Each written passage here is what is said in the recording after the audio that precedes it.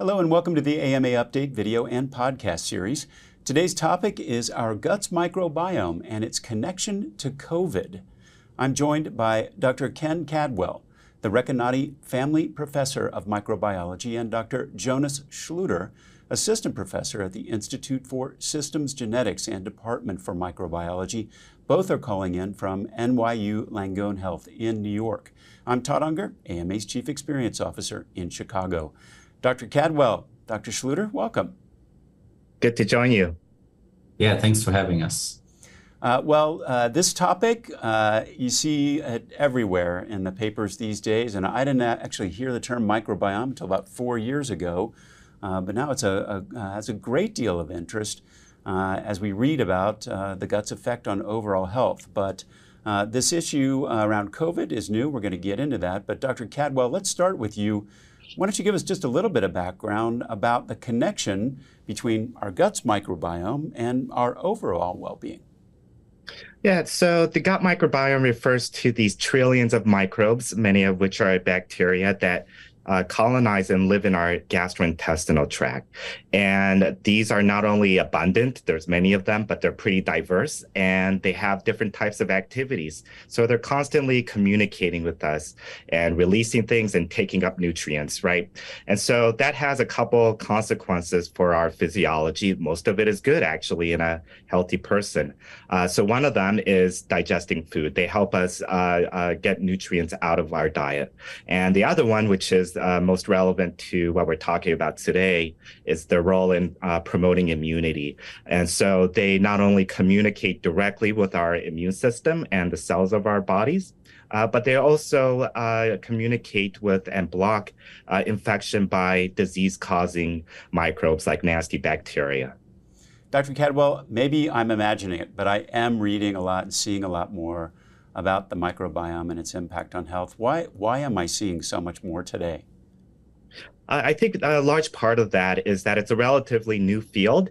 And what we first had to do, right, uh, is to figure out what's there. And that took a lot of effort and a lot of technological innovation. So first you have to make the dictionary or encyclopedia, and then you can start figuring out what these bacteria and other microbes are actually doing there. And we're now seeing a lot of these studies really take off that are making progress in uh, this more molecular uh, understanding of the microbiome. Dr. Schluter, what happens when uh, the microbiome gets out of balance? How does that happen in the first place? And how would you even know if your gut was unhealthy in the first place? Yeah, that's a very good question. And of course, the factors that lead to what we call dysbiosis, which is when, as you said, the bacterial populations are out of balance. Um, those factors are still subject to ongoing research, but there is a recurrent pattern that we observe many factors associated with our industrialized lifestyle do contribute to changes in the microbial populations. That includes, of course, first and foremost, also dietary changes that lead to shifts relative to other populations. Um, but the most striking signal comes repeatedly, of course, from antibiotics. When we take oral antibiotics, these medications are targeting bacteria, they kill bacteria, and they also kill these bacteria that are normal residents of our flora. Well, both of you were recently part of a study that examined how COVID infection affects our gut. That was a kind of a new thing to read, um, or vice versa, of course. I want to talk about that. How did you first become interested in studying that connection between gut health and the microbiome? And what were the kind of key questions that you were looking to answer? Dr. Schluter, why don't you lead off? Yeah, so my lab has focused largely on studying cancer patients and the relationship between the microbiome and their immune system. But one thing that we've learned from cancer patients is that dysbiosis, when the bacterial populations are very different from what we see in healthy individuals, can lead to detrimental effects downstream. And one of the most striking ones is when gut bacteria translocate from the microbiome into the bloodstream and cause a secondary infection. Now, this is possible in cancer patients because their microbiome is very disturbed, the gut epithelium is leaky, and their, their immune cell populations in the blood are very low. So they have very little to fight a bacterium that translocates into the blood. And then in learning that during COVID, in severe cases, early on, we see a decline in immune cell populations circulating in the blood. and knowing that, of course, these patients are also severely sick and have dysbiotic microbiomes, we were wondering if a similar thing could be observed, if, if there exists a similar risk to COVID patients that gut bacteria could translocate into the bloodstream. Do you find, like, uh, let's say there are other kind of pre-existing conditions that have uh, affected someone's response to COVID? Is it the case that COVID is causing these uh, disturbances in the microbiome, or is somebody uh, susceptible because there is an issue already pre-existing with the microbiome? In part, of course, that is a very good question. You're asking a chicken and egg problem here. Is it that the disease leads to a dysbiotic microbiome, or is it that the dysbiotic microbiome favors uh, more severe disease course. And that is exactly what we try to address also with our study. Dr. Cadwell, let's talk about this study. How did you go about doing this research and uh, what did you find? So we took a two-pronged approach uh, that allowed us to both uh, uh, demonstrate the relevance to humans and the actual COVID patients, but also try to address this exact question that you were asking Jonas about the chicken and the egg and what's causing what. So we took uh, both an approach using animal models and also direct sampling of human specimens from uh, patients who uh, were hospitalized with COVID-19. And with the animal studies, what we're able to do is to uh, restrict our analysis to just the effect of SARS-CoV-2 infection. So we take these mice, we infect them with the virus, we don't give them antibiotics or and they don't get uh, the cafeteria food from the hospital, right? All they see is the virus. And when we did that, we saw these big changes in the composition of the microbiome, this dysbiosis that jo Jonas mentioned earlier. So because that's the only manipulation we did to the mice, we know that the virus in principle can affect the microbiome without other factors being involved. So, Dr. Schluter, when you switch to looking at patients where maybe you don't have that same level of control, what did you see there? Yeah, exactly. So Ken's mouse model has shown that the virus alone can lead to changes in the microbial populations. And when we then went and studied the microbiome in patients, we saw a similar shift in the microbiome. We went to two hospital sites and collected stool samples from patients that are diagnosed uh, with COVID-19. And then we sequence those stool samples and profile the bacterial populations. And then we see sometimes usually rare bacteria expand in these samples. So bacteria that are normally in low abundance or perhaps not, not there at all expand in these populations, uh, in these samples from these patients. And that is reminiscent of the same patterns that we saw in the mouse model, but perhaps even stronger in these patients. So some patients have really entirely depleted microbiomes where there's single species, perhaps the only ones left over in their in their microbiome. And that is likely due to a combination of effects where both the viral infection and the antibiotic treatments that these patients received contribute to this dysbiosis. Dr. Schluter, uh, translate then what you found. What, what is most significant in your mind about that outcome?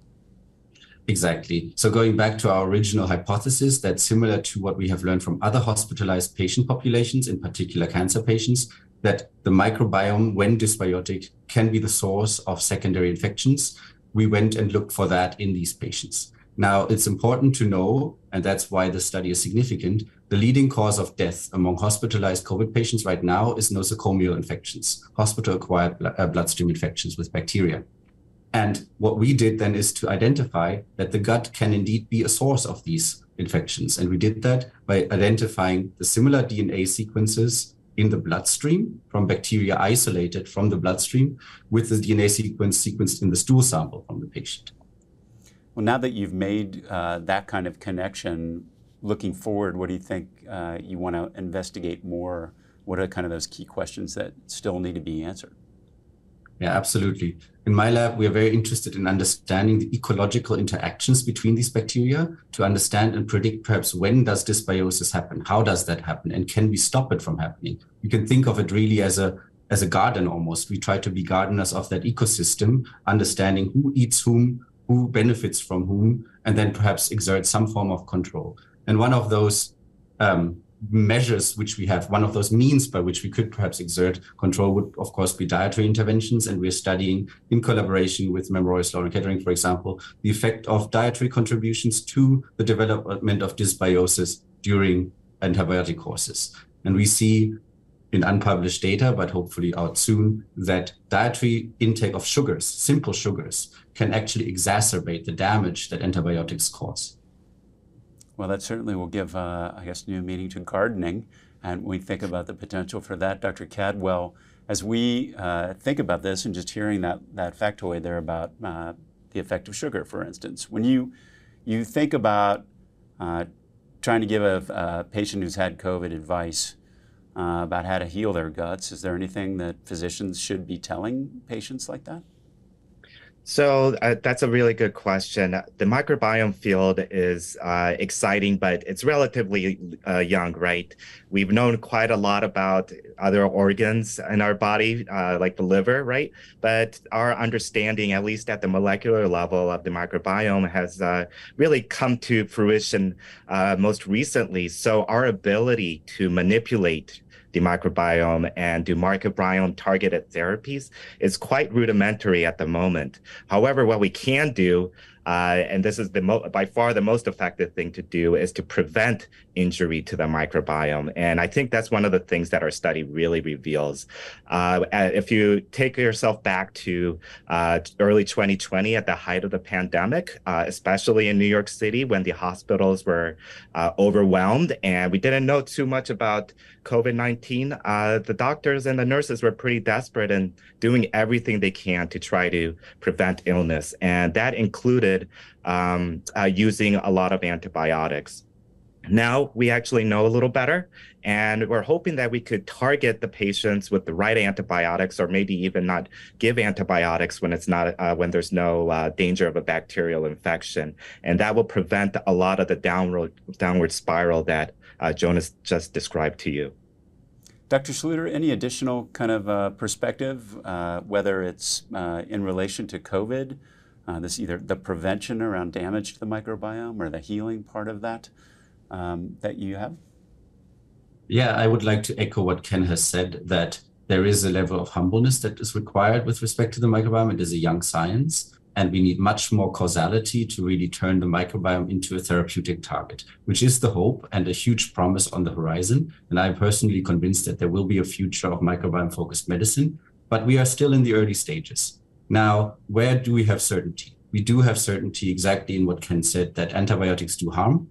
And unless there's a specific need to change your microbiome, you'd probably want to keep it as is. And with that in mind, I think an important message that our study contributes to as well is that antibiotic treatments do not come for free. They do cause collateral damage. And it's an important public health message to, to limit the usage of it as much as that is possible.